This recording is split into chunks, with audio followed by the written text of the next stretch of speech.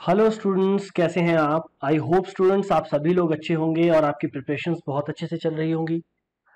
Students जैसा कि आप जानते हैं कि एग्ज़ाम डेट्स अनाउंस हो चुकी है तो फिजिक्स में वो टॉपिक्स हम सबसे पहले कवर कर लेते हैं जिनका यील्ड जो होता है वो हाईएस्ट होता है, जहाँ से क्वेश्चन पूछे जाने के चांसेस सबसे ज़्यादा होते हैं। तो जैसा कि आप लोगों ने कहा था कि पहले मॉडर्न फिजिक्स को कवर कर लीजिए तो मैं आप लोगों के लिए मॉडर्न फिजिक्स पहले कवर कर लेता हूँ। और देखिए मॉडर्न फिजिक्स से ही 70 टू 80 परसेंट क्वेश्चन आपके हैं। तो अगर आप मॉडर्न फिजिक्स भी अच्छे से कवर कर लेते हो students you can score pretty good marks तो स्टूडेंट्स चलिए स्टार्ट करते हैं मॉडर्न फिजिक्स और मॉडर्न फिजिक्स में हमारा पहला लेक्चर जो आज है, उसका नाम है dual nature of matter dual nature of matter matter का दोहरा स्वभाव। तो चलिए स्टूडेंट्स कवर करेंगे डुअल नेचर ऑफ़ मैटर तो स्टूडेंट देखिए डुअल नेचर की कहानी बहुत पहले से चलती आ रही है। ये कहानी की अगर हम शुरुआत करें तो ये होता है लगभग न्यूटन के टाइम से ये कहानी चलती आ रही है कि लाइट को, जिस तरीके से लाइट है आपके पास लाइट को क्या माना जाए?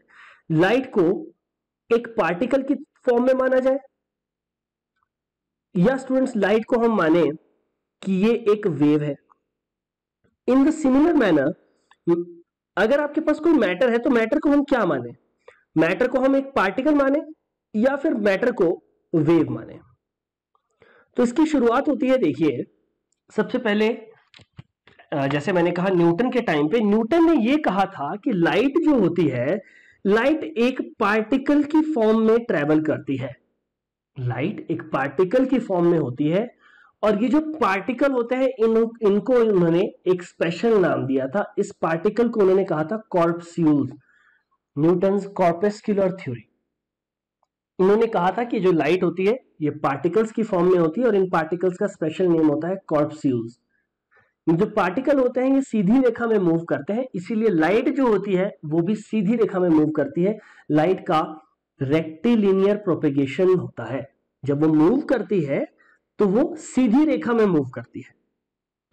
अब स्टूडेंट्स उसी टाइम पे एक और उनके पैरेलल एक और साइंटिस्ट थे, जिनका नाम था यंग हाइगन अब हाइगन जो थे, वो ये कह रहे थे कि लाइट जो होती है, वो पार्टिकल की तरह बिहेव नहीं करती है लाइट करती है एक वेव की तरह बिहेव और आप तो जानते हैं कि वेव को प्रोपेगेट करने के लिए एक मीडियम की रिक्वायरमेंट होती है. तो यहाँ पर हाइगन ने यह कहा कि जो लाइट मीडियम में यहाँ पर, जिस लाइट को हम ये मान रहे हैं कि वो वेव की फॉर्म में है हमारे स्पेस में एक स्पेशल तरह का मीडियम है उस मीडियम को उन्होंने नाम दिया ईथर स्टूडेंट्स इस ईथर का कोई भी लेना देना नहीं है केमिस्ट्री वाले ईथर से इसको इन्होंने सिर्फ़ नाम दिया. कि हमारे मीडियम एक आ, हमारे स्पेस में एक मीडियम होता है जिसका नाम होता है ईथर और क्योंकि लाइट इसमें से पास करती है ईथर में से इसीलिए ये एक वेव है. वेव की फॉर्म में लाइट मूव करती है. अच्छा स्टूडेंट्स इनके पास कौन कौन से एविडेंसेस थे? जैसे पार्टिकल नेचर के लिए तो बहुत सारे एविडेंसेस थे। अगर मैं कहूँ कि लाइट का एक ही काफ़ी है, जैसे rectilinear propagation of light light जो होती है, वो सीधी रेखा में ट्रेवल करती है। देन स्टूडेंट्स आपने पढ़ा होगा रिफ्लेक्शन ऑफ़ लाइट आपने पढ़ा होगा रिफ्रैक्शन ऑफ़ लाइट ये सारे जो थे, ये पार्टिकल नेचर के एक्सप्लेन कर रहे थे। स्टूडेंट्स वेव में कौन कौन सी चीज़ें थी ऐसी जो वेव को सपोर्ट करती है, जो आज भी करती हैं? तो एक आपने पढ़ा होगा interference of light interference of light interference of light का मतलब होता है जब लाइट जो होती है, उसका जो इंटेंसिटी होती है लाइट की इंटेंसिटी वो घटती और बढ़ती है रेगुलर इंटरवल्स में। तो उसे आप कहते हैं इंटरफियरेंस देन स्टूडेंट्स एक और टॉपिक था आपके पास polarization polarization of light light को रिस्ट्रिक्ट कर देना कि वो एक ही पर्टिकुलर डायरेक्शन में मूव करे. देन एक होता है आपके पास डिफ्रेक्शन ऑफ़ अ लाइट तो ये सारे एविडेंसेस आपके पास कहा की ओर इशारा कर रहे थे कि लाइट का वेव नेचर होता है। तो स्टूडेंट्स उस टाइम पे हालाँकि हाइगन को इतनी ज़्यादा तवज्जो तो नहीं दी गई क्योंकि न्यूटन जो थे वो बहुत महान साइंटिस्ट थे। तो उनके कंपैरिजन में हाइगन को इतनी ज़्यादा एविडेंसेस इतने ज़्यादा तवज्जो नहीं मिली और उनका मॉडल जो था वो फेल हो गया था। हालाँकि बहुत लेटर जाके एटीन में जाके ये बात प्रूव होने लगी कि जी हाँ लाइट जो होती है, वो उसका दोनों तरह का नेचर होता है, पार्टिकल भी और वेव भी। देन स्टूडेंट्स बहुत सारे आपके पास साइंटिस्ट आए, जैसे एक आपके पास थे मैक्स प्लैंक एक आपके पास थे जेम्स क्लर्क मैक्सवेल तो इन्होंने भी लाइट के ऊपर काफ़ी सारा काम किया। इन्होंने कहा कि लाइट जो होती है, किसी ने कहा कि पार्टिकल है, किसी ने कहा कि वेव है। जैसे आपके पास थे मैक्स प्लैंक जो इंपॉर्टेंट है इसमें मैक्स प्लैंक मैक्स प्लैंक ने ये कहा कि लाइट जो होती है, वो इलेक्ट्रोमैग्नेटिक वेव है। लाइट क्या है स्टूडेंट्स? ये है इलेक्ट्रोमैग्नेटिक वेव।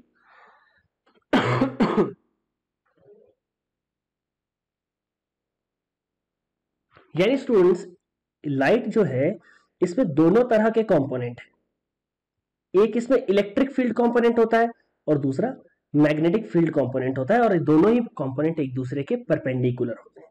अगर ये इलेक्ट्रिक फ़ील्ड कंपोनेंट है लाइक like दिस ये इलेक्ट्रिक फ़ील्ड कंपोनेंट है तो ये मैग्नेटिक फ़ील्ड कंपोनेंट होगा। ये मैग्नेटिक फ़ील्ड कंपोनेंट होगा और दोनों ही एक दूसरे के परपेंडिकुलर होते हैं। तो लाइट कैसे मूव करती है? लाइट मूव करती है वेव की फॉर्म में। और इस वेव से जो एनर्जी आती है स्टूडेंट्स वो आती है आपके पास एक स्मॉल स्मॉल पैकेट्स की फॉर्म में। स्मॉल पैकेट्स की फॉर्म में एनर्जी आती है। इन, ये जो सारे पैकेट्स होते हैं, इनकी एनर्जी फिक्स नहीं होती। इस पैकेट को लाइट के केस में कहते हैं फ़ोटो। सॉरी। लाइट के केस में इसे क्या कहते हैं? इसे कहते हैं फोटोन स्टूडेंट्स, फोटोन जो होता है, वो होता है एक स्मॉल पैकेट ऑफ़ एनर्जी। जो कहाँ से एनर्जी आ रही होती है आपके पास? एनर्जी आपके पास आ रही होती है इलेक्ट्रोमैग्नेटिक रेडिएशन की फॉर्म में। कहाँ से आ रही होती है? आ रही होती है डिफरेंट डिफरेंट आउटर स्पेस से। अब स्टूडेंट्स इसी चीज़ को आगे पढ़ते हैं सबसे पहले कि एक फोटोन क्या होता है? फोटोन के बारे में थोड़ी सी स्टडी करते हैं, लेकिन फोटोन जानने से पहले आप एक काम करिए, अगर मैं आपको बताऊँ कि देखिए ये 1901 में हुआ था ये सब कुछ 1901 में ये थ्योरी आई थी। मैक्स प्लैंक की थ्योरी को थोड़ा सा समझा गया कि लाइट का नेचर होता है, किस तरह का नेचर होता है। कि small packets of small packets की फॉर्म में आती है। Then students E is equal to M C square का इवोल्यूशन हुआ। 1905 में, जिसको गोल्डन ईयर ऑफ़ फिजिक्स भी कहते हैं is equal to M C square और स्टूडेंट्स इसके एकदम अगले साल, एक और आपके पास फॉर्म आ गई थी E is equal to H nu से जो उन्होंने डिराइव किया था इन दोनों इक्वेशन से, कि लैम्डा जो होता है wavelength associated with any particle किसी भी पार्टिकल के साथ जो वेवलेंथ एसोसिएटेड होती है, थोड़ा ध्यान से सुनने की कोशिश करिए क्योंकि मैं क्या कह रहा हूँ यहाँ पर। मैंने कहा कि किसी पार्टिकल के साथ जो एसोसिएटेड वेव होती है। अब स्टूडेंट्स आप जानते हैं कि जनरली पार्टिकल्स के साथ वेव एसोसिएटेड नहीं होती, लेकिन 1906 में इस चीज़ को लिंक किया गया था कि हर एक पार्टिकल जो है, वो वेव भी बिहेव करता है, और पार्टिकल पार्टिकल तो बिहेव करेगा ही। In the similar manner light जो होती है, वो वेव भी बिहेव करती है, और पार्टिकल की भी बिहेव करती है। तो इन्होंने ये इक्वेशन दी थी lambda is equal to h upon m v इसको बोलते हैं विक्टर डिब्रॉयज वेवलेंथ तो उन्होंने ये इक्वेशन निकाली और इसमें ये कहा लाइट को कंसीडर कर लिया, उनको, उन्होंने इस चीज़ को मिक्स कर दिया किसको पार्टिकल नेचर को वेव नेचर के साथ। उन्होंने कहा कि हर एक मटेरियल पार्टिकल की वेवलेंथ होती है। तो ये है थ्योरी स्टूडेंट्स इसमें से एक टॉपिक है जो आपको पढ़ना है अच्छे से, वो है photo electric effect photo electric effect इसके बारे में हमें डिटेल स्टडी करनी है सिर्फ़ आज। इसके ऊपर पूछे जाने वाले वेरियस क्वेश्चन कौन कौन से होते हैं? क्या ये इफ़ेक्ट होता है? तो अच्छा सबसे पहले मैं आपको ये बता दूँ कि पहला लेक्चर जो है आज का फ़ोटो इलेक्ट्रिक इफ़ेक्ट ये पार्टिकल नेचर के ऊपर है। ये एक्सप्लेन करेगा पार्टिकल नेचर लाइट का। यहाँ हम वेव नेचर इसे मान के नहीं चलते। इसे हम मान के चलते हैं पार्टिकल नेचर और नेक्स्ट लेक्चर जो मेरा रहेगा, वो रहेगा डुअल नेचर के ऊपर, जिसमें मैं लाइट को, कुछ वेव लाइट को और साथ में इलेक्ट्रॉन्स को वेव प्रूव करके बताऊँगा। और उसके बेसिस पर मैं ये कहूँगा कि हर एक मैटर का दोनों तरह का नेचर होता है। पार्टिकल नेचर भी होता है और वेव नेचर भी होता है। तो चलिए स्टार्ट करते हैं। सबसे पहले स्टूडेंट्स आज आपके पास कि इलेक्ट्रॉन एमिशन क्या होता है? इलेक्ट्रॉन एमिशन इलेक्ट्रॉन एमिशन देखिए students according to the Bohr theory Bohr क्या कहते हैं कि अगर ये आपके पास पॉजिटिवली चार्ज न्यूक्लियस है और इसके चारों ओर आपके पास ऑर्बिट्स है ऑर्बिट्स तो ये कैसे ऑर्बिट्स होते हैं? डिस्क्रीट ऑर्बिट्स होते हैं। मतलब इनकी एनर्जी जितनी है, उतनी फिक्स्ड है स्टूडेंट्स ना तो इनकी एनर्जी खुद व खुद बढ़ सकती है और ना ही इनकी एनर्जी खुद व खुद घट सकती है। तो मान लीजिए यहाँ पर एक इलेक्ट्रॉन है और आप जानते हैं कि न्यूक्लियस और इस इलेक्ट्रॉन के बीच में strong electrostatic forces of attraction है कोलंबियन अट्रैक्शन तो स्टूडेंट्स अगर मैं मान लीजिए बाहर से इस फोटोन को, इस इलेक्ट्रॉन को एनर्जी देता हूँ in the form of photon photon की फॉर्म में मैंने इसको एनर्जी दे दी। तो देखिए, इसके पास दो चांसेस होते हैं, ये दो चीज़ें कर सकता है यहाँ पर। क्या? पहली चीज़ हो सकता है, ये इलेक्ट्रॉन एक्साइट होकर हायर एनर्जी स्टेट में चला गया। स्टूडेंट्स जब एक इलेक्ट्रॉन लोअर एनर्जी स्टेट से हायर एनर्जी स्टेट में चला जाता है। तब आप इसे कहते हैं एक्साइटेशन एक्साइटेशन और स्टूडेंट्स जब इस इलेक्ट्रॉन को इतनी ज़्यादा एनर्जी मिल गई कि ये मेटल से ही बाहर आ गया, तब इसे कहते हैं एमिशन आई होप पहले आप यहाँ पर एक्साइटेशन और एमिशन के बारे में समझ गए। तो स्टूडेंट्स एमिशन करने के लिए फोटोन का एमिशन करने के लिए आप ये जानते हो कि इलेक्ट्रॉन कंसीडर एक फ्री इलेक्ट्रॉन नहीं है कंसीडर एक इलेक्ट्रॉन है आपके पास, वो न्यूक्लियस के साथ बाउंड है। पॉजिटिवली चार्ज न्यूक्लियस इसके साथ ये बाउंड है। तो स्टूडेंट्स अगर आपको इसको एनर्जी देनी है ताकि ये इनके बीच में जो अट्रैक्शन है, वो ओवरकम हो जाए। तो कितनी मिनिमम एनर्जी आप यहाँ पर देंगे? Minimum energy required to free electron to free electron from Coulombian attractions from Coulombian attractions is called work function is called work function क्या कहते हैं इसे वर्क फ़ंक्शन कहते हैं क्या कहा था आपने स्टूडेंट्स कि जितनी यहाँ पर न्यूक्लियस देखिए न्यूक्लियस है पॉजिटिवली चार्ज न्यूक्लियस और इलेक्ट्रॉन के ऊपर है नेगेटिवली चार्ज इलेक्ट्रॉन के ऊपर है नेगेटिव चार्ज तो इनके बीच में अट्रैक्शन होंगी। तो स्टूडेंट्स देखिए कितनी एनर्जी मैं यहाँ पर बाहर से अप्लाई करूँ इस इलेक्ट्रॉन को कि इनके बीच में जो अट्रैक्शन है आपके पास ये ओवरकम हो जाए उसे आप क्या कहते हो? उसे आप कहते हो वर्क फ़ंक्शन अब स्टूडेंट्स ये जो आप एनर्जी अप्लाई करते हो ये फोटोन की फॉर्म में ही अप्लाई करते हो।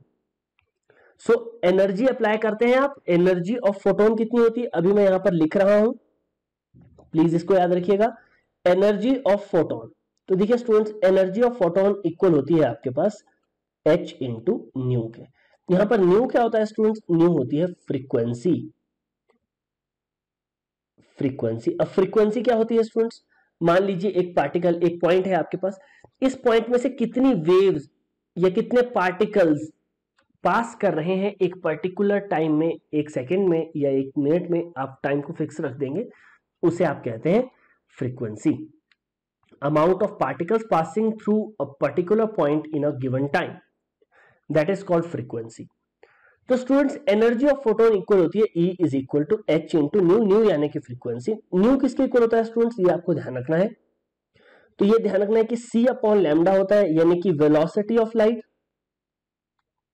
velocity of light by lambda यानी कि वेवलेंथ लैमडा इक्वल होती है वेवलेंथ के। ये आपको ध्यान रखना है। तो देखिए, जो आप एनर्जी अप्लाई करते हो बाहर से एच न्यू की फॉर्म में, ये एनर्जी जो होती है आपके पास, आप इसे वर्क फ़ंक्शन कह सकते हो। तो वर्क फ़ंक्शन का फॉर्मूला क्या रहेगा स्टूडेंट्स वर्क फ़ंक्शन का फॉर्मूला आपके पास रहेगा। अगर इसको मैं फाइव से नोट करता हूँ तो ये इक्वल होगा। E is equal to h nu के, या एच न्यू नॉट आप लिख सकते हो यहाँ पर। न्यू नॉट कौन सी एनर्जी है? न्यू नॉट है minimum energy, minimum required frequency. कि कितनी मिनिमम फ्रीक्वेंसी रिक्वायर्ड है इस इलेक्ट्रॉन को बाहर निकालने के लिए या फ्रीली फ्री करने के लिए? मिनिमम रिक्वायर्ड फ्रीक्वेंसी, इसका नाम होता है threshold frequency. Threshold frequency. Threshold frequency. So ये किसके इक्वल हो जाता है? E is equal to h nu naught यानी कि इसको आप लिख सकते हैं h c upon lambda naught students यहाँ से मिनिमम एनर्जी मैक्सिमम वेवलेंथ बहुत सारी कंडीशंस बन जाती है। जैसे अगर आपको स्टूडेंट्स आप जानते हो कि एनर्जी जो है वो डायरेक्टली प्रोपोर्शनल है फ्रीक्वेंसी के और इनवर्सली प्रोपोर्शनल है वेवलेंथ के। तो अगर आपको मिनिमम एनर्जी निकालनी है किसी चीज़ की मिनिमम एनर्जी तो वो किसके इक्वल होगी स्टूडेंट्स मिनिमम एनर्जी इक्वल होगी तब, जब आपके पास फ्रीक्वेंसी मिनिमम होगी, ध्यान रखिएगा फ्रीक्वेंसी क्या होनी चाहिए? मिनिमम और इसका मतलब स्टूडेंट्स उस वक्त वेवलेंथ क्या होगी? वेवलेंथ होगी आपके पास मैक्सिमम वेवलेंथ कितनी होगी? मैक्सिमम वेवलेंथ होगी. इस बात को ध्यान रखिएगा। ये मैंने यहाँ पर आप लोगों के लिए समअप कर दिया है सब कुछ। एनर्जी फोटोन की मैक्सिमम तब होगी जब वेवलेंथ एनर्जी किसी भी फोटोन की मिनिमम तब होगी जब वेवलेंथ मैक्सिमम होगी या फ्रीक्वेंसी मिनिमम होगी। ध्यान रखिएगा ये बात स्टूडेंट्स ये जो एनर्जी आप लगाते हो ताकि इलेक्ट्रॉन सरफेस में से निकल जाए, उसे आप क्या कहते हो? उसे आप कहते हो वर्क फ़ंक्शन अब स्टूडेंट्स ये जो वर्क फ़ंक्शन होता है, इसकी यूनिट क्या होती है? यूनिट वर्क फ़ंक्शन की होती है आपके पास इलेक्ट्रॉन वोल्ट इलेक्ट्रॉन वोल्ट क्या होता है students electron volt mean by electron volt तो इलेक्ट्रॉन वोल्ट क्या होता है कि मान लीजिए यहाँ पर आपके पास एक पॉजिटिवली चार्ज प्लेट है, ये नेगेटिवली चार्ज प्लेट है। कंसीडर स्टूडेंट्स ये पाँच वोल्ट है और यहाँ पर फोर वोल्ट है। तो इनके बीच में जो पोटेंशियल डिफरेंस सेटअप है potential difference so potential difference है स्टूडेंट्स एक वोल्ट का। पोटेंशियल डिफरेंस कितना है? एक वोल्ट का पोटेंशियल डिफरेंस है इनके बीच में प्लेट और इसके बीच में। तो अगर आपने इलेक्ट्रॉन यहाँ पर रख दिया है तो ये इलेक्ट्रॉन जो होगा स्टूडेंट्स ये कहाँ की ओर मूव करेगा? It will move from the higher potential to that of lower potential तो देखिए, इसका हायर पोटेंशियल स्टूडेंट्स ध्यान रखिएगा नेगेटिवली चार्ज पार्टिकल का हायर पोटेंशियल नेगेटिव की तरफ़ को ज़्यादा होता है। तो ये कहाँ की ओर मूव करेगा? ये मूव करेगा पॉजिटिवली चार्ज प्लेट की तरफ़ को। यहाँ की ओर मूव करेगा तो स्टूडेंट्स कितनी काइनेटिक एनर्जी गेन करेगा है उसे आप कहते हो electron volt so the kinetic energy gain by electron gained by electron after accelerating through after accelerating through a potential of 1 volt through a potential of 1 volt is called उसे क्या कहते हैं आप is called electron volt energy उसे आप कहते हैं one electron volt energy ध्यान रखिएगा तो देखिए अगर मैं यहाँ पर कहूँ कि कितनी काइनेटिक एनर्जी इसने गेन की है तो ई इज़ इक्वल टू कितना होगा स्टूडेंट्स ये इक्वल होगा एच इन टू न्यू के ये है एनर्जी हालाँकि जब मैं पोटेंशियल का फॉर्मूला यूज़ करता हूँ तो देखिए पोटेंशियल कितना है स्टूडेंट्स पोटेंशियल है आपके पास. According to the formula work done per unit test charge तो कितना वर्क डन किया आपने यहाँ पर? कितनी वर्क डन कहिए चाहे एनर्जी कहिए तो ये होगा potential into q naught potential इनके बीच में था, जो पोटेंशियल डिफरेंस था, एक वोल्ट का. और क्यू नॉट कौन सा चार्ज था? इलेक्ट्रॉन का चार्ज था। तो बन जाएगा माइनस या 1.6 मैग्नीट्यूड की बात करें into ten raise to power minus nine दिन खोलो। और वोल्ट तो देखिए वन इलेक्ट्रॉन वोल्ट यहाँ से इक्वल होता है 1.6 point six into ten raise to the power minus nineteen joule के। इस चीज़ को भी आप याद रखिएगा, देखिए बहुत छोटी यूनिट है। अगर मैं यूज़ करूँगा वन मेगा इलेक्ट्रॉन वोल्ट तो इसका मतलब होगा कि 1.6 point six into ten raise to the power minus thirteen joule. ये होगा आपके पास one mega electron volt. This is one mega electron volt तो आई होप स्टूडेंट्स आपको ये छोटी सी बातें पहले क्लियर है कि वन इलेक्ट्रॉन वोल्ट कितना होता है वन मेगा इलेक्ट्रॉन वोल्ट कितना होता है। नाउ स्टूडेंट्स अगर हम बात करते हैं कि एक इलेक्ट्रॉन को कितने तरीके से निकाला जा सकता है। Ejection of electrons ejection of electrons कितने तरीके से निकाला जा सकता है एक इलेक्ट्रॉन को? तो देखिए, यहाँ पर बहुत सारे मेथड होते हैं, जिनमें से चार प्रिंसिपल मेथड्स होते हैं। सबसे पहले आपके पास होता है thermo ionic emission thermo ionic emission thermo ionic emission क्या होता है स्टूडेंट्स कि मान लीजिए आपके पास एक मेटल प्लेट है, और आपने क्या किया स्टूडेंट्स यहाँ पर इसको एनर्जी दे दी बाहर से। किसकी फॉर्म में? टेम्परेचर की फॉर्म में आपने हीट कर दिया इसको टेम्परेचर प्रोवाइड कर दिया है। यूर अप्लाइंग हीट इस हीट के कारण हर एक इलेक्ट्रॉन जो इसके अंदर है, उनको एनर्जी मिलेगी। उनके बीच के और न्यूक्लियस के बीच के बॉन्ड जो होंगे, वो ब्रेक डाउन होंगे और इलेक्ट्रॉन जो होगा, वो लोअर एनर्जी स्टेट से कहाँ को चला जाएगा? It will move to the higher energy state और उस वजह से क्या होगा स्टूडेंट्स उस वजह से इलेक्ट्रॉन्स बाहर आ जाएँगे। उसे आप कहते हैं थर्मो आयनिक एमिशन जब आपने एमिशन किया बाय अप्लाइंग टेम्परेचर और हीट जब आपने टेम्परेचर इंक्रीज कर दिया या हीट अप्लाई कर दिया। स्टूडेंट्स दूसरा आपके पास होता है फ़ील्ड एमिशन तो फ़ील्ड एमिशन क्या होता है आपके पास? फ़ील्ड एमिशन होता है कि इस बार आपने जो एनर्जी प्रोवाइड की है वो हीट की फॉर्म में नहीं अप्लाई की है, इस बार आपने अप्लाई की है फ़ील्ड की फॉर्म में। कौन सी field electric field magnetic field consider मैंने इलेक्ट्रिक फ़ील्ड प्रोवाइड कर दी। स्टूडेंट्स आप जानते हैं electric field is always from the positive to that of negative charge तो यह इलेक्ट्रिक फ़ील्ड और इसके बीच में आपने मेटल को रख दिया। हालाँकि बीच में इलेक्ट्रिक फ़ील्ड ज़ीरो होगी, लेकिन इसके कारण इसको इतनी ज़्यादा एनर्जी मिल जाएगी कि इलेक्ट्रॉन्स जो इसके अंदर होंगे, वो सारे के सारे electron they will feel heat energy और उसके कारण ये जो इलेक्ट्रॉन होंगे, वो बाहर आ जाएँगे तो electron emission will take place यहाँ पर इसे कहते हैं फ़ील्ड एमिशन देन जिसके बारे में हम पढ़ने जा रहे हैं, जो इंपॉर्टेंट है, वो है आपके पास photo electric emission photo electric emission photo electric emission क्या है स्टूडेंट्स की? मान लीजिए, आपके पास एक मेटल सरफेस है और इस मेटल के सरफेस पे बहुत सारे फ्री इलेक्ट्रॉन्स है। मेटल के सरफेस पे आप जानते हैं, बहुत सारे फ्री इलेक्ट्रॉन्स होते हैं। एक मेटल के अंदर लगभग रूम टेम्परेचर पे 10 raise to the power 28 electrons होते हैं। ध्यान रखिएगा, एक मेटल में लगभग फ्री सरफेस पे सरफेस सरफेस पे जो फ्री इलेक्ट्रॉन्स होते हैं, वो लगभग 10 रेज टू पावर 28 होते हैं एक पर्टिकुलर टाइम पे। तो बाहर से मान लीजिए आपके पास फोटोन आ रहा है तो ये फोटोन जो है, जो एनर्जी लेके आ रहा है, ये फोटोन इसमें से जब इलेक्ट्रॉन्स को एमिट कर पाता है, देखिए, ऐसा नहीं होगा कि हमेशा फोटोन्स गिरेंगे और हमेशा ही इलेक्ट्रॉन्स निकलेंगे। अगर निकलते हैं यहाँ से इलेक्ट्रॉन्स, एनर्जी अप्लाई करने के बाद, कौन सी एनर्जी? लाइट एनर्जी प्रोवाइड करने के बाद, इस बार एनर्जी हम डिराइव कर रहे हैं लाइट एनर्जी से। तो उन्हें आप कहेंगे फ़ोटो इलेक्ट्रॉन्स। फ़ोटो इलेक्ट्रॉन्स यहाँ जो इलेक्ट्रॉन्स एमिट हुए हैं, उन्हें आप कहते हैं फ़ोटो इलेक्ट्रॉन्स ये है आपके पास फ़ोटो इलेक्ट्रिक एमिशन और लास्ट आपके पास आता है, आपके पास सेकेंडरी एमिशन सेकेंडरी एमिशन क्या होता है स्टूडेंट्स इसमें हम क्या करते हैं? एक एसेलरेटिंग चार्ज पार्टिकल लेते हैं. कौन सा पार्टिकल एसेलरेटिंग चार्ज पार्टिकल और उस चार्ज पार्टिकल को हम क्या करते हैं? एसेलरेट कर सकते हैं. अब देखिए एसेलरेट करते कैसे हैं? तो इसके लिए एक और मेथड होता है एक डिवाइस होती है उसका नाम होता है साइक्लोट्रोन साइक्लोट्रोन में इसको घुमाते हैं हम इलेक्ट्रिक और मैग्नेटिक फ़ील्ड की हेल्प से। और यहाँ से जब इलेक्ट्रॉन निकलता है स्टूडेंट्स यहाँ से मान लीजिए आपके पास अल्फ़ा पार्टिकल है ये। साइक्लोट्रोन के अंदर इसको घुमा रहे हैं इस तरीके से घुमा रहे हैं। और एक पर्टिकुलर साइड से मैंने यहाँ पर इलेक्ट्रॉन को रख दिया। तो क्योंकि इस, इसके ऊपर बहुत ज़्यादा हाई चार्ज होगा कंपैरेटिवली तो ये करेगा, जब इस इलेक्ट्रॉन से टकराएगा तो ये इसको एनर्जी सारी ट्रांसफ़र कर देगा इलेक्ट्रॉन यहाँ से अपने पाथ से निकल जाएगा, और इस तरीके से वो मेटल सरफेस से बाहर आ जाएगा। तो इसे आप कहते हैं सेकेंडरी एमिशन हालाँकि सेकेंडरी एमिशन के बारे में हम ज़्यादा पढ़ने नहीं वाले हैं, ये इतना इंपॉर्टेंट टॉपिक आपके पॉइंट ऑफ़ व्यू से नहीं है। अब इसमें नेक्स्ट टॉपिक आपके पास आता है कि हमें पढ़ना है थोड़ा सा फोटोन के बारे में कि फोटोन होता क्या है, ताकि हम एक बार क्लियर अंडरस्टैंडिंग के हिसाब से फोटोन को एक बार पढ़ने के बाद हम बाकी चीज़ों के बारे में भी बात कर सकें।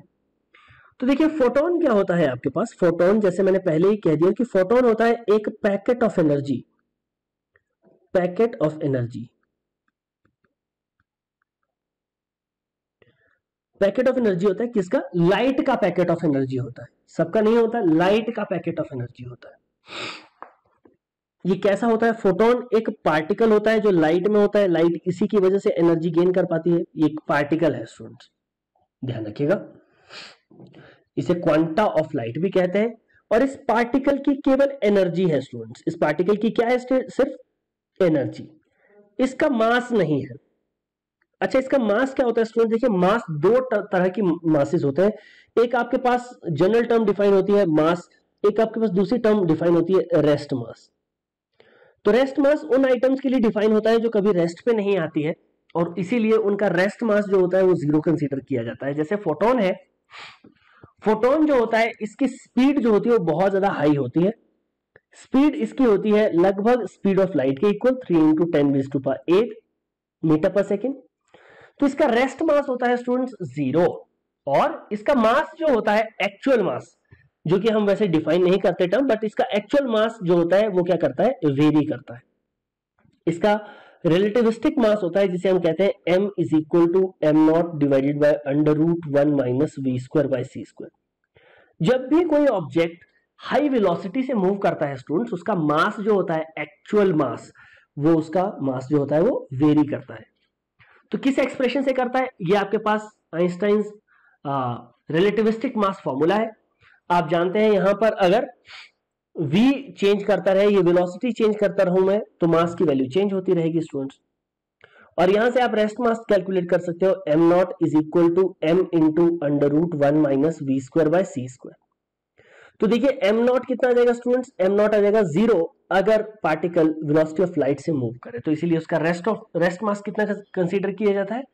ये कंसीडर किया जाता है ज़ीरो तो फोटोन है एक पैकेट ऑफ़ एनर्जी जिसका केवल एनर्जी है, और इसका जो एनर्जी होता है, वो किस एक्सप्रेशन से आता है? एनर्जी ऑफ़ फोटोन इक्वल होती है एच न्यू के ध्यान रखिएगा E अगर इक्वल है एच न्यू के स्टूडेंट्स मैंने पहले ही कह दिया था, या फिर एच सी अपॉन लेमडा के तो यहाँ पर आप कह सकते हैं कि एनर्जी डायरेक्टली प्रोपोर्शनल है फ्रीक्वेंसी के, लेकिन इनवर्सली प्रोपोर्शनल है वेवलेंथ के।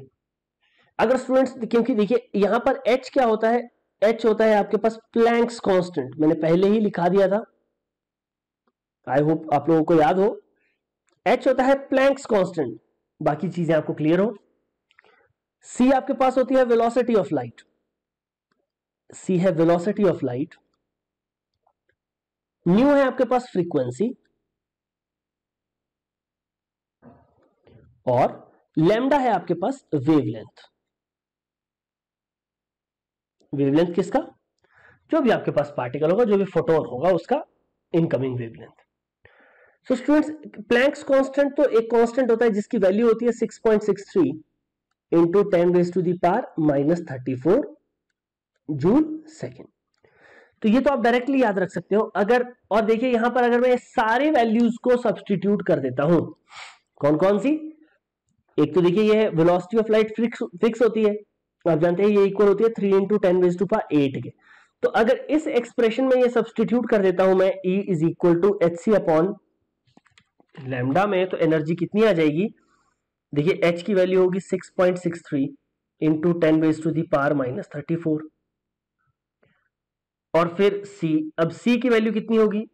Three into ten base to the power eight by by lambda lambda तो वेरी वेरी करेगा। स्टूडेंट्स आप जानते हैं लेमडा की वैल्यू वेरी करेगी। एनर्जी अगर आपको मिनिमम एनर्जी कैलकुलेट करनी है तो आपके पास ये इक्वल होना चाहिए। H C upon lambda maximum आप जानते हैं ये आई होप इतना तो आप मैथमेटिक्स जानते हो। ई e मिनिमम होगा जब लेमडा मैक्सिमम होगा। तो आपको मैक्सिमम वेवलेंथ पूछ रहे हैं तो इसका मतलब है आपको मिनिमम एनर्जी कैलकुलेट करनी है उसको। अगर इस सारी वैल्यूज़ को मैं सब्सटीट्यूट कर देता हूँ स्टूडेंट्स तो आपके पास आंसर आता है। आपको डायरेक्टली याद रखना है one two four zero by lambda students ये किसमें होता है? ये होता है मिलीमीटर में। लेमडा देखिएगा मिलीमीटर में होता है, ध्यान रखिएगा। लैम्डा जो होगा वो मिलीमीटर में होगा उस वक्त। और एनर्जी ये किसमें आई है? इलेक्ट्रॉन वोल्ट में एनर्जी आई है आपके पास। आपको ये ध्यान रखना है। नॉट मिलीमीटर सॉरी नैनोमीटर इसको ठीक कर लीजिएगा। मिलीमीटर नहीं है यहाँ पर नैनोमीटर मतलब एनर्जी जो होनी चाहिए, वो इलेक्ट्रॉन वोल्ट में तब आएगी जब लैम्डा की वैल्यू किसमें होगी? नैनोमीटर में। यानी कि ten raise to the power minus nine अब यहाँ से आप खुद को खुद भी कन्वर्ट कर सकते हैं कि अगर आपके पास ten raise to the power minus ten है, यानी कि वन एंगस्ट्रॉम है, तब एनर्जी कितनी आएगी? ये आप कैलकुलेट कर सकते हो स्टूडेंट्स ये होता है फोटोन का एनर्जी कैलकुलेट कर लिया हमने मास कैलकुलेट कर लिया रेस्ट मास कैलकुलेट कर लिया स्पीड कैलकुलेट कर ली.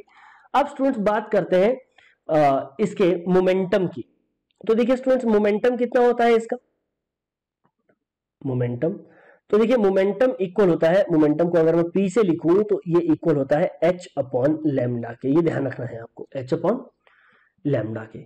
या स्टूडेंट्स एक और फॉर्मूला है एच अपॉन लेमडा की वैल्यू मैं यहाँ से सब्सटीट्यूट कर सकता हूँ। आप जानते हैं कि लेमडा न्यू इक्वल होता है सी अपॉन लेमडा के। तो लेमडा की वैल्यू यहाँ से कैलकुलेट कर सकता हूँ सी अपॉन न्यू अगर इसको सब्सटीट्यूट कर दूँ तो सी अपॉन न्यू तो ये आपके पास मोमेंटम आ जाता है। ध्यान रखिएगा, ये आपके पास मोमेंटम है इसका।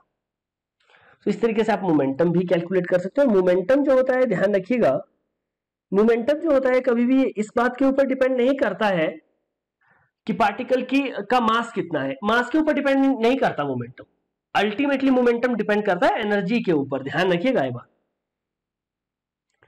मोमेंटम डिपेंड करता है एनर्जी के ऊपर। ध्यान रखिएगा। और हर एक फोटोन की जो एनर्जी होती है ये फिक्स्ड होती है। ध्यान रखिएगा एनर्जी इज़ फिक्स्ड। इसका मतलब क्या है स्टूडेंट्स की पार्टिकल की लेमडा में वे, वेरी लेमडा में वेरी अगर सेम सोर्स ऑफ़ लाइट है तो लेमडा की वैल्यू वेरी कर सकती है लेकिन एनर्जी क्या होगी फिर भी? एनर्जी रहेगी फिक्स्ड। एक डेफिनेट अमाउंट ऑफ़ एनर्जी ही आपके पास आएगा ध्यान रखिएगा। अगर एनर्जी डेफिनेट होगी तो ऑब्वियस सी बात है कि इसका मोमेंटम भी डेफिनेट होगा। तो इसका मतलब है momentum is also definite momentum is also fixed या definite whatever you use जो भी आप कहना चाहते हैं यहाँ पर तो ये ध्यान रखिएगा। नेक्स्ट चीज़ स्टूडेंट्स की, जब आपके पास एक फोटोन यहाँ से आया और इसने सारी की सारी एनर्जी जो है वो एक इलेक्ट्रॉन को ट्रांसफ़र कर दी, ये इलेक्ट्रॉन है, ये फोटोन है तो इनके बीच में कोलिजन होगा स्टूडेंट्स इस टाइम पे ये जो कोलिजन हो रहा है ये कोलिजन जो होते हैं आपस में, वो परफेक्टली इलास्टिक होते हैं। कोलिजन आर परफेक्टली इलास्टिक अच्छा स्टूडेंट्स परफेक्टली इलास्टिक कोलिजन का मतलब क्या होता है? कि इनकी काइनेटिक एनर्जी जो रहती है, हमेशा क्या रहती है? वो रहती है कंजर्व्ड यानी कि constant constant in the same manner momentum जो होता है स्टूडेंट्स इनका लीनियर मोमेंटम वो भी क्या रहता है? लीनियर मोमेंटम भी हमेशा रहता है कंजर्व्ड या कांस्टेंट तो ध्यान रखिएगा, जब मोमेंटम जब आपके पास दो पार्टिकल्स के बीच में, जब आपके पास एक इलेक्ट्रॉन और एक फ़ोटो फोटोन के बीच में कोलिजन हो रहे हैं, वो कैसे कोलिजन है? परफेक्टली इलास्टिक कोलिजन है मतलब उनका काइनेटिक एनर्जी और लीनियर मोमेंटम जो रहेगा, हमेशा ही वो क्या रहेगा? कंजर्व रहेगा। ध्यान रखिएगा। फोटोन्स जो होते हैं, ये ध्यान रखिएगा, इनके ऊपर कोई चार्ज नहीं होता। कैसे होते हैं ये? न्यूट्रल होते हैं, न्यूट्रल। इनके ऊपर कोई चार्ज नहीं होता है। इसीलिए electric field and magnetic field का इनके ऊपर कोई प्रभाव नहीं होता है। ध्यान रखिएगा। They are not deflected not deflected by electric and magnetic fields electric और मैग्नेटिक फ़ील्ड का उनके ऊपर कोई प्रभाव नहीं होता है, क्योंकि इनके ऊपर चार्ज नहीं होता है स्टूडेंट्स तो ध्यान रखिएगा फोटोन के बारे में इतना कुछ आपके लिए काफ़ी है. आई होप आप लोगों को यह समझ आ गया होगा. तो चलिए स्टूडेंट्स इसके बाद डिस्कस करते हैं photo electric effect photo electric effect अब देखिए स्टूडेंट्स इसकी एक एक्सपेरिमेंटल थ्योरी है. एक्सपेरिमेंटल थ्योरी के बेसिस पे हम चार लॉज निकालेंगे और उन लॉज को हम प्रूव करेंगे। एल्बर्ट आइंस्टाइन के इक्वेशन से जिस चीज़ के लिए उनको नोबेल प्राइज मिला है। यही इस टॉपिक में है। तो फ़ोटो इलेक्ट्रिक इफ़ेक्ट होता क्या है स्टूडेंट्स फ़ोटो इलेक्ट्रिक इफ़ेक्ट होता है आपके पास एक ऐसा फिनोमिना जिसमें इलेक्ट्रॉन्स जो होते हैं, वो इजेक्ट होते हैं। The spontaneous emission of ejection of electrons when light of certain frequency strikes the metal surface देखिए, मैं आपके लिए लिख भी देता हूँ चाहे यहाँ पर। फ़ोटो इलेक्ट्रिक इफ़ेक्ट है क्या? यह है आपके पास phenomenon in which electrons are ejected from a metal surface from a metal surface when light of देखिए, कोई भी लाइट ऐसा ज़रूरी नहीं है कि कोई भी लाइट इसके ऊपर पड़ेगी और इलेक्ट्रॉन निकाल देगी। नो वेन लाइट ऑफ़ देखिए, यहाँ पर एक इंपॉर्टेंट कंडीशन है सर्टेन फ्रीक्वेंसी कुछ मिनिमम फ्रीक्वेंसी की रिक्वायरमेंट है यहाँ पर। उस फ्रीक्वेंसी के बिलो अगर कोई आपके पास एनर्जी है या उस फ्रीक्वेंसी के बिलो आपके, अगर आपके पास इनकमिंग फोटोन की फ्रीक्वेंसी है, तब आपके पास फ़ोटो इलेक्ट्रिक नहीं इफ़ेक्ट नहीं होगा। When light of certain frequency strikes metal surface, या strikes metal. तो देखिए मिनिमम फ्रीक्वेंसी की रिक्वायरमेंट है, ये ध्यान रखिएगा। अब स्टूडेंट्स इसके लिए एक अपरेटस कैसा था? तो इसके लिए क्वार्ट्स ग्लास ट्यूब थी आपके पास, जिसको कैथोड रे ट्यूब भी कहते हैं। और यहाँ से एक नैरो सी ओपनिंग रखी गई थी। यहाँ पर एक मेटल का प्लेट लगा दिया गया था, इस तरीके से। और इस मेटल प्लेट में क्या कहा गया था कि इस तरीके से फोटोन्स बाहर से आएँगे, इस तरीके से, और स्ट्राइक करेंगे इधर लाइक दिस तो ऑब्वियस सी बात है, इसको कनेक्ट कर दिया गया था एक हाई वोल्टेज से।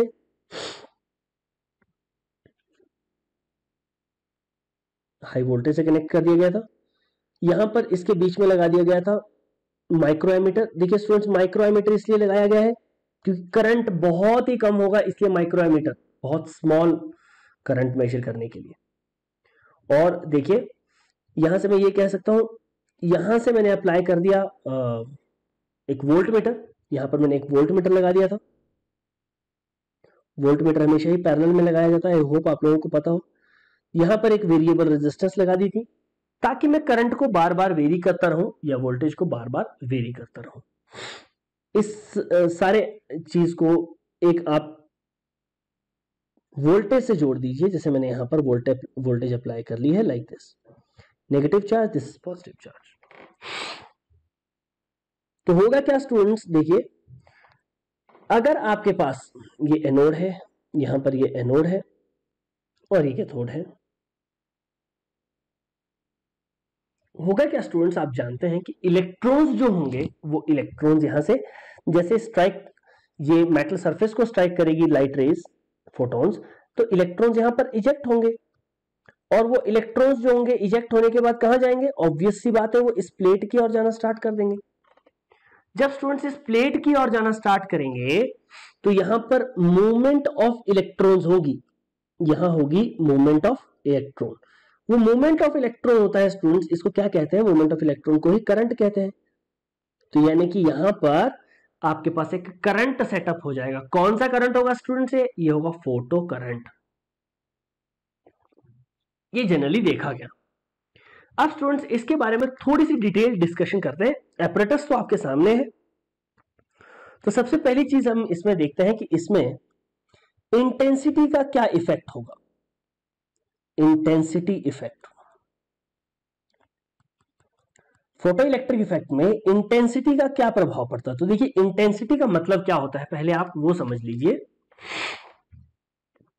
इंटेंसिटी का जनरल फॉर्मूला आपके पास होता है energy per unit area per unit time यानी कि अगर आपके पास कोई पर्टिकुलर एरिया है, ये आपके पास एरिया है, दोनों का फिक्स्ड एरिया है स्टूडेंट्स तो इस पर्टिकुलर एरिया में इस पर्टिकुलर एरिया में कितनी रे ऑफ़ लाइट आपके पास आ रही है? जैसे ये आपके पास रे ऑफ़ लाइट आ रही है।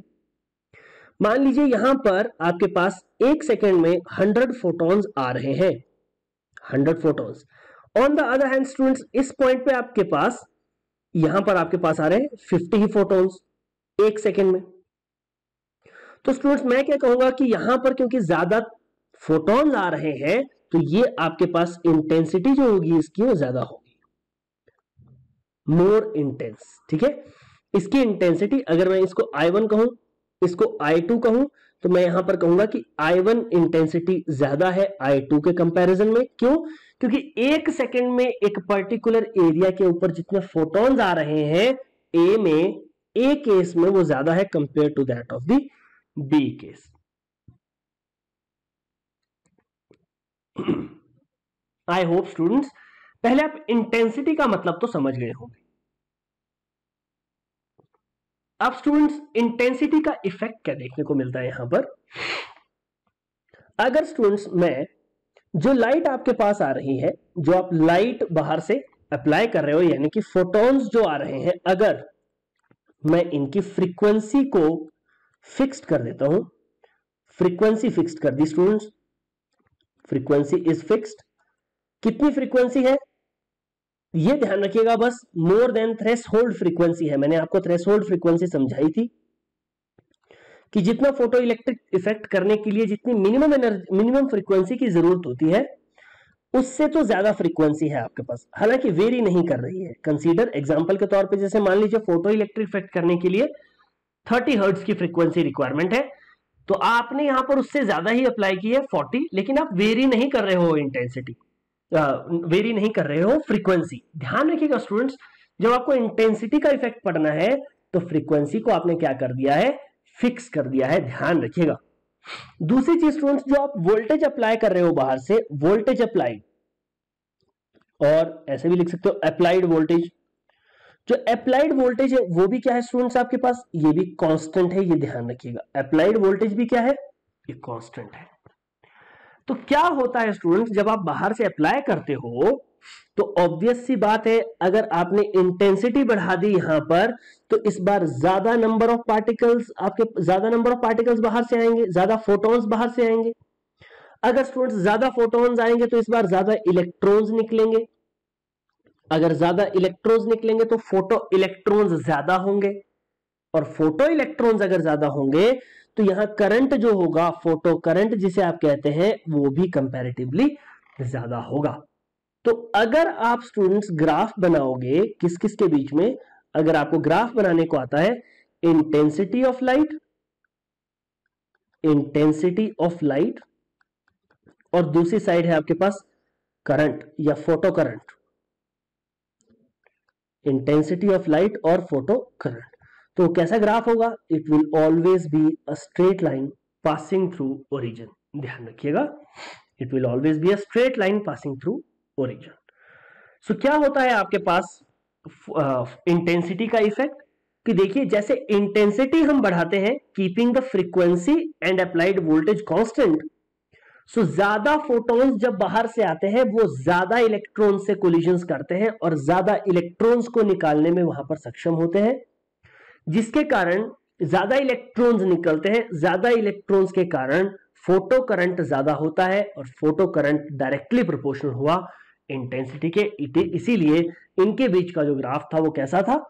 Straight line passing through origin तो यहाँ से पहला लॉ निकल के आया कि नंबर ऑफ़ फ़ोटो देखिए मैं लिख ही देता हूँ यहाँ पर। Number of photo electrons of photo electrons emitted per second emitted per second number of photoelectrons emitted per second is directly proportional to the intensity.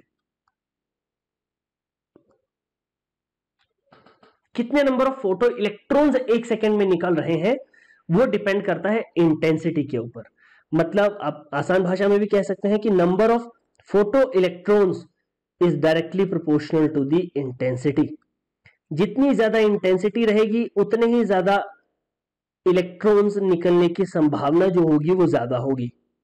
उतने ही इलेक्ट्रॉन्स निकलने की संभावना ज़्यादा होगी। ध्यान रखिए, ज़रूरी नहीं है इलेक्ट्रॉन निकले इलेक्ट्रॉन निकलने की संभावना ज़्यादा होगी। बस दैट्स इट तो ये था पहला इफ़ेक्ट इंटेंसिटी का। देन स्टूडेंट्स सेकंड आप कॉन्सेप्ट पढ़ते हैं effect of voltage effect of potential effect of potential तो देखिए स्टूडेंट्स पोटेंशियल का क्या रोल है यहाँ पर?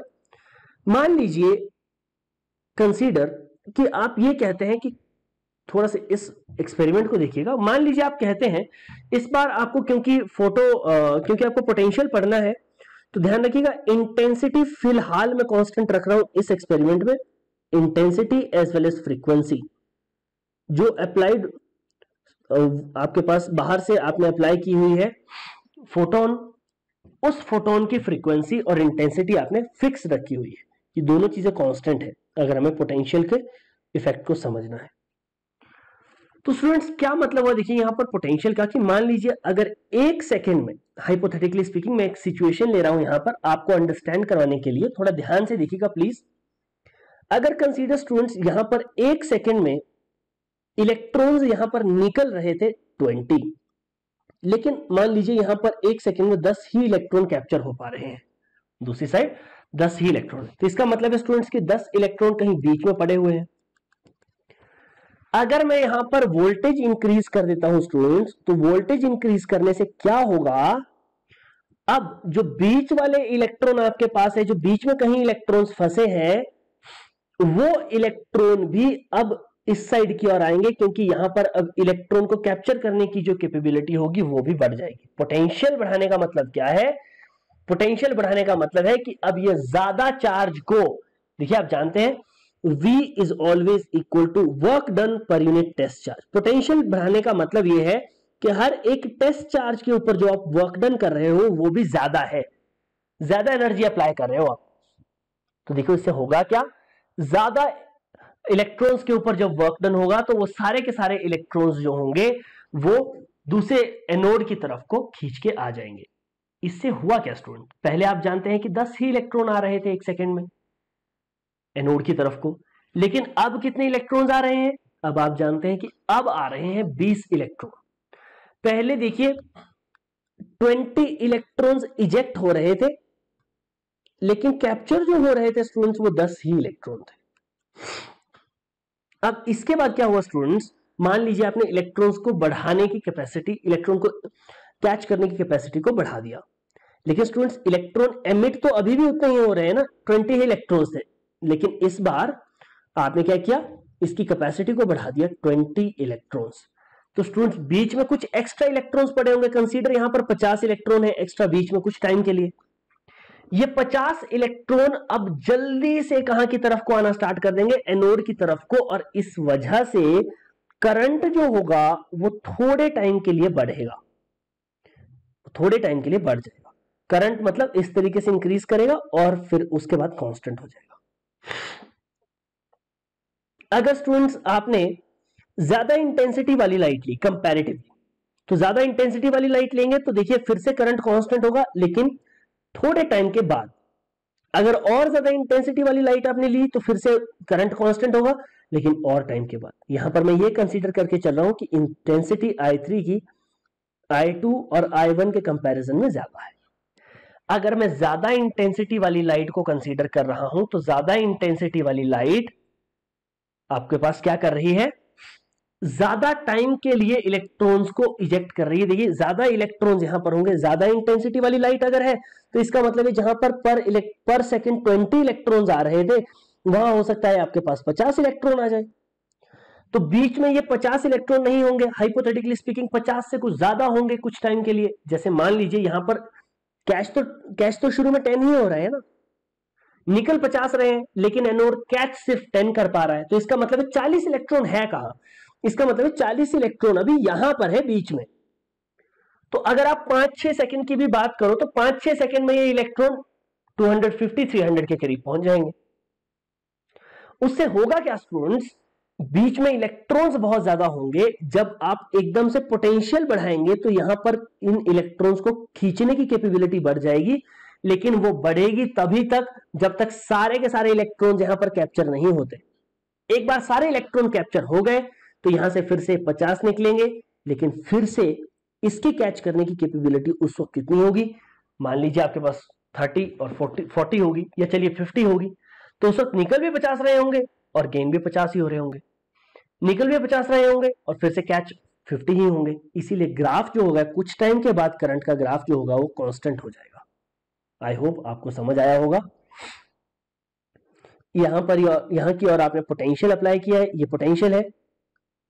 और यहाँ की और है आपके पास फ़ोटो करंट वाई एक्सिस की ओर फ़ोटो करंट अच्छा स्टूडेंट्स इसमें एक और इंपॉर्टेंट देखने लायक बात थी इस ग्राफ में कि अगर आप इन सभी ग्राफ्स को यहाँ की ओर मिलाते हो, यानी कि इनको रोकने के लिए कितनी पोटेंशियल की आवश्यकता है, कितने पोटेंशियल की रिक्वायरमेंट है तो वो पोटेंशियल सबके लिए सेम था स्टूडेंट्स और इसका नाम था आपके पास स्टॉपिंग पोटेंशियल इस पोटेंशियल का नाम, अगर इसको मैं वी नॉट कहूँ पोटेंशियल को तो इस वी नॉट को बहुत सारे नाम से जाना जाता है, जैसे स्टॉपिंग पोटेंशियल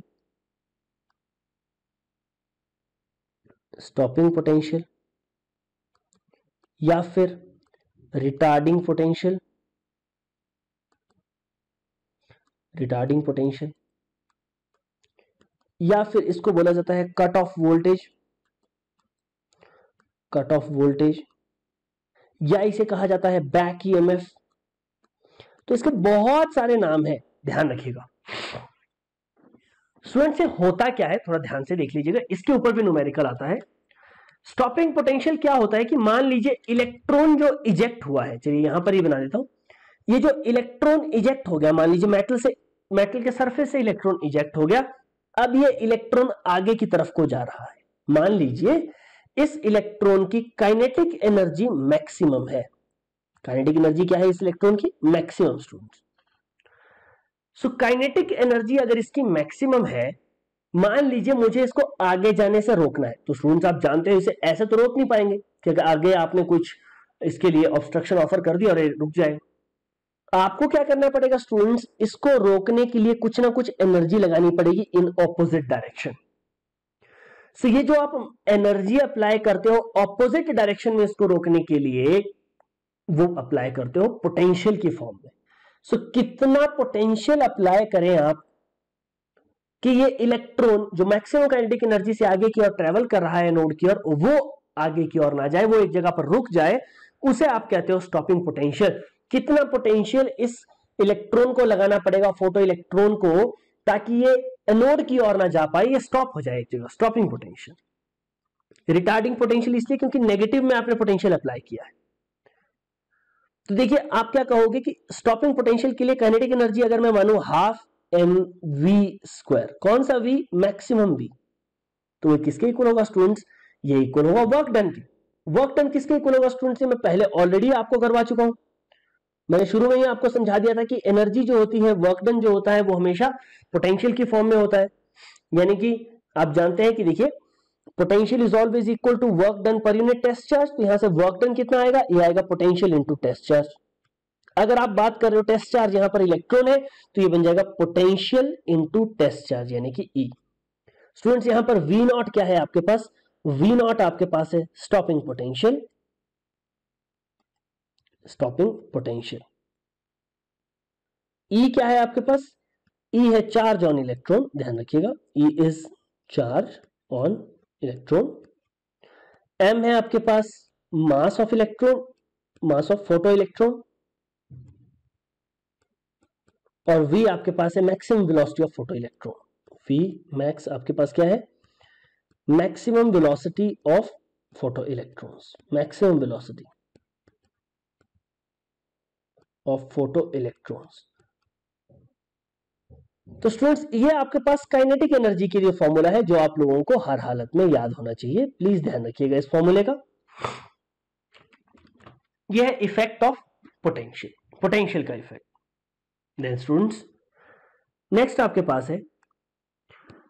आई होप आपको पोटेंशियल का इफ़ेक्ट समझ आ गया होगा। अब देखिए स्टूडेंट्स अच्छा ये सबके लिए सेम क्यों है? ये मैं एक्सप्लेन नहीं कर कर पाया अभी। देखिए मैं आपको बता देता हूँ कि सबके लिए सेम क्यों है। क्योंकि स्टूडेंट्स देखिए जितने भी इलेक्ट्रॉन्स यहाँ से निकल रहे हैं, मान लीजिए आप इंटेंसिटी भी बढ़ा रहे हो। चाहे आप इंटेंसिटी ही बढ़ा रहे हो स्टूडेंट्स लेकिन इंटेंसिटी बढ़ाने से नंबर ऑफ़ फोटोन्स इंक्रीज होंगे, यानी कि नंबर ऑफ़ इलेक्ट्रॉन्स जो होंगे एमिट वो इंक्रीज होंगे। थोड़ा ध्यान से सुनिएगा। अगर मैं इंटेंसिटी भी बढ़ा देता हूँ, जैसे मैंने I1 से इंटेंसिटी को I2 कर दिया, या I2 से I3 कर दिया। जब मैं इंटेंसिटी को इंक्रीज कर रहा हूँ तो नंबर ऑफ़ फोटोन्स जो यहाँ पर एमिट हो रहे हैं, वो ज़्यादा होंगे। नंबर ऑफ़ फोटोन्स ज़्यादा आएँगे बाहर से। यानी कि इलेक्ट्रॉन्स को भी वो ज़्यादा निकालेंगे। लेकिन स्टूडेंट्स ज़्यादा इलेक्ट्रॉन निकलने से ये तो नहीं हुआ कि इलेक्ट्रॉन्स जिस एनर्जी से निकले, वो ज़्यादा हम निकले। हाँ, हम ये मानते हैं कि नंबर ऑफ़ इलेक्ट्रॉन्स ज़्यादा निकले हैं, क्योंकि फोटॉन्स की इंटेंसिटी बढ़ गई थी। लेकिन स्टूडेंट्स सारे के सारे इलेक्ट्रॉन जो निकल रहे हैं, चाहे हायर इंटेंसिटी के, चाहे लोअर इंटेंसिटी के, उन सभी का, उन सभी की काइनेटिक एनर्जी सेम है। इसीलिए स्टूडेंट्स सभी को रोकने के लिए जो आप वोल्टेज अप्लाई कर रहे हो, वो इसीलिए सेम है। आई होप आप लोगों को एक ग्राफ समझ आ गया हो। नाउ स्टूडेंट्स नेक्स्ट तरह का ग्राफ है आपके पास effect of frequency effect of frequency तो देखिए, मैं ऑलरेडी आपको समझा चुका था कि फ्रीक्वेंसी क्या होती है आपके पास। फ्रीक्वेंसी होती है कि एक जगह से एक प्लेस से कितनी नंबर ऑफ़ वेव्स एक पर्टिकुलर टाइम में पास हो रही है? फॉर एग्ज़ाम्पल ये वेव्स है। इस पर्टिकुलर प्लेस में से, इस पर्टिकुलर पॉइंट में से कितनी नंबर ऑफ़ वेव्स पास होंगी एक पर्टिकुलर सेकेंड में? उसे आप कहते हैं फ्रीक्वेंसी अब स्टूडेंट्स देखिए फोटोन की एनर्जी जो होती है, ये इक्वल होती है एच इंटू न्यू यानी कि एनर्जी डायरेक्टली प्रोपोर्शनल है फ्रीक्वेंसी के। ध्यान रखिएगा एनर्जी डायरेक्टली प्रोपोर्शनल है फ्रीक्वेंसी के। इसका मतलब क्या होगा स्टूडेंट्स अगर मोर फ्रीक्वेंसी वाली लाइट होगी more frequency means more energy ज़्यादा एनर्जी होगी। मतलब काइनेटिक एनर्जी और एनर्जी किसी भी एनर्जी की बात कर लीजिए, वो किसके ऊपर डिपेंड करती है? वो फ्रीक्वेंसी के ऊपर डिपेंड करती है, वो इंटेंसिटी के ऊपर डिपेंड नहीं करती है। तो स्टूडेंट्स अगर एनर्जी ज़्यादा होगी मतलब फ्रीक्वेंसी ज़्यादा होगी। फ्रीक्वेंसी तभी ज़्यादा हो सकती है जब आपके पास एनर्जी जो होगी, वो ज़्यादा होगी फोटोन की। अब स्टूडेंट देखिए, अगर फ्रीक्वेंसी जो है, मान लीजिए फ्रीक्वेंसी थ्रेशोल्ड फ्रीक्वेंसी से कम है। आपने जो अप्लाई की फ्रीक्वेंसी या जो फोटोन आपने यहाँ पर अप्लाई किया है, मान लीजिए उसकी फ्रीक्वेंसी जो है, वो थ्रेशोल्ड फ्रीक्वेंसी से कम है। तो होगा क्या स्टूडेंट देखिए, यहाँ पर पॉजिटिवली चार्ज न्यूक्लियस है, और इसके चारों और जो है, वो इलेक्ट्रॉन्स है। तो अगर इनके बीच में बॉन्ड है और बाहर से, मान लीजिए इसको तोड़ने के लिए आपको 700 जूल एनर्जी की रिक्वायरमेंट है और बाहर से जो एनर्जी आ रही है कंसीडर फ्रीक्वेंसी के साथ एच को मल्टीप्लाई करके हाइपोथेटिकली स्पीकिंग कि वो 500 जूल ही है? इसका मतलब क्या है?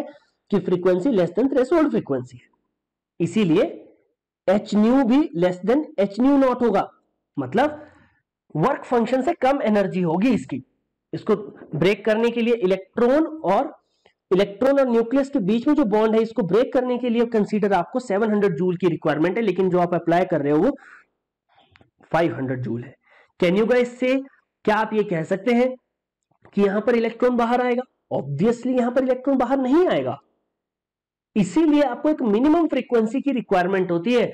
इस मिनिमम फ्रीक्वेंसी के बाद ही फ़ोटो इलेक्ट्रिक इफ़ेक्ट जो होता है वो हो पाता है। उसके पीछे वो नहीं हो पाता। फ़ोटो इलेक्ट्रिक इफ़ेक्ट नहीं हो पाता। जब फ्रीक्वेंसी जब frequency greater than threshold frequency होगी तो इसका मतलब है जो बाहर से एनर्जी अप्लाई होगी ई एच ई जो इक्वल होता है एच न्यू के तो यहाँ पर एच न्यू भी greater than H nu naught होगा, यानी कि स्टॉपिंग पोटेंशियल या एनर्जी जो होगी आपके पास, वो किससे ज़्यादा होगी? वर्क फ़ंक्शन से ज़्यादा होगी। इलेक्ट्रॉन इसको ओवरकम कर पाएगा उस वक्त, ये जो फोर्सेस है। तो इसके बीच में अगर आपको ग्राफ बनाना है तो देखिए क्या ग्राफ बना स्टूडेंट्स यहाँ पर ग्राफ बना आपके पास। यहाँ से आपको डायरेक्टली प्रोपोर्शनल बनाना है लाइक दिस यस ये है आपके पास फ्रीक्वेंसी और ये है आपके पास स्टॉपिंग पोटेंशियल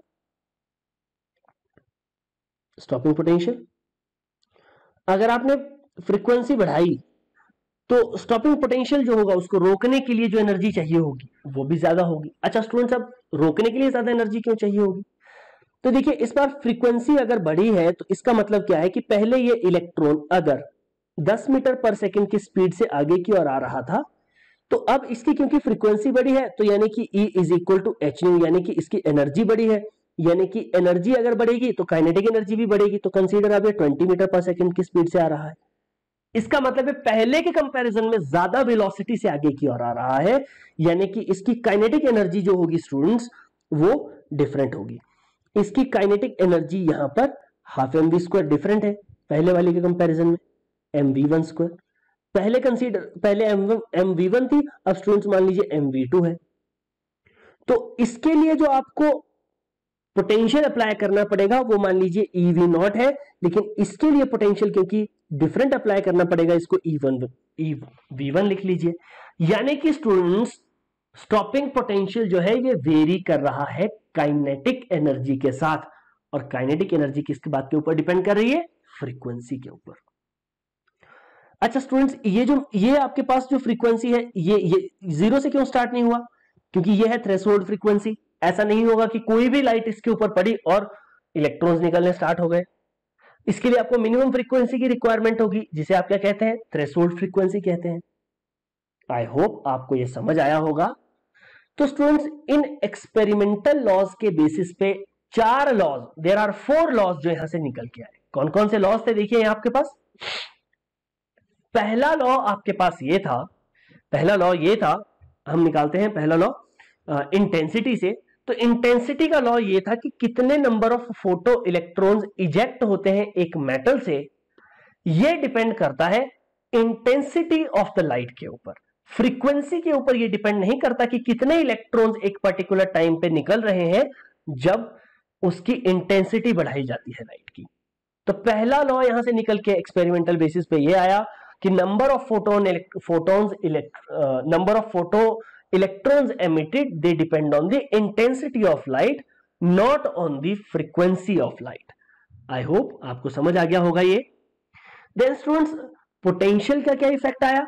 पोटेंशियल का इफ़ेक्ट आपने ये देखा कि अगर आपको किसी पार्टिकल को रोकना है काइनेटिक एनर्जी जो होती है पार्टिकल की, ये लिखा है मैंने सामने यहाँ पर काइनेटिक एनर्जी जो होती है पार्टिकल की, ये डिपेंड करती है स्टॉपिंग पोटेंशियल के ऊपर। अगर ज़्यादा स्टॉपिंग पोटेंशियल होगा तो फिर ज़्यादा काइनेटिक एनर्जी होगी।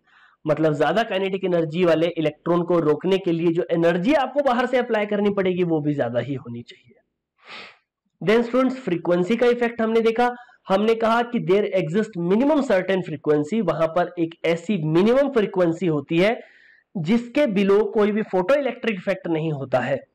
उस मिनिमम फ्रीक्वेंसी को आप कहते हैं थ्रेस होल्ड फ्रीक्वेंसी और इस फ्रीक्वेंसी से ज़्यादा जब आप लाइट की फ्रीक्वेंसी को रखते हो फोटोन्स की फ्रीक्वेंसी को रखते हो तो उस वक्त फ़ोटो इलेक्ट्रॉन निकलते हैं, तब आपके पास एमिशन होता है। आई होप आपको यह समझ आ गया होगा स्टूडेंट्स लास्ट टॉपिक आपके पास एक और है कि देखिए, ये जो ये जो फ़ोटो इलेक्ट्रिक इफ़ेक्ट होता है फ़ोटो इलेक्ट्रिक इफ़ेक्ट ये एक स्पॉन्टेनियस एमिशन है और ये एक इंस्टेंटेनियस इफ़ेक्ट है.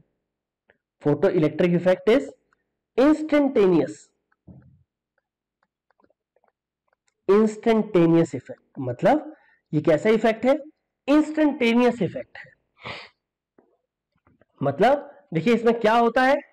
इसमें जो इंटेंसिटी, ये एक, ऐसा होता है कि मान लीजिए, एक फोटोन ने एक इलेक्ट्रॉन को स्ट्राइक किया। उसी टाइम पे स्टूडेंट्स, ये अगर इलेक्ट्रॉन निकलना होगा तो उसी टाइम पे ये इलेक्ट्रॉन जो होता है, फ़ोटो इलेक्ट्रॉन वो एमिट हो जाता है।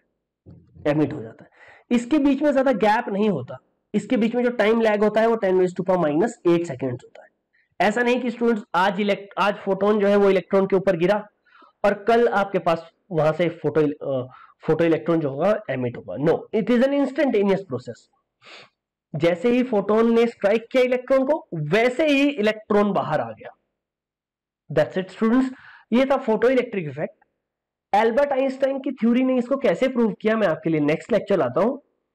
तब तक आप इसे प्रॉपरली स्टडी करिए। इसके ऊपर बनने वाले न्यूमेरिकल्स वैसे तो इसमें ज़्यादा कुछ जो नुमेर वैसे तो इसमें ज़्यादातर फॉर्मूले जो बन सकते हैं, वो मैंने आपके सामने लिख ही दिए हैं। उन सबको मैंने अंडरलाइन किया है। मैक्सिमम इसमें चार या पाँच फॉर्मूले अभी तक आप लोगों ने पढ़े होंगे। इन फॉर्मूलों को प्रॉपरली स्टडी कर लीजिए और इसके ऊपर बनने वाले न्यूमेरिकल्स को आप ट्राई करें कि क्या आप वो न्यूमेरिकल्स कर पा रहे हैं या नहीं। मिलते हैं नेक्स्ट लेक्चर में। स्टूडेंट्स तब तक अपना ध्यान रखिए। धन्यवाद।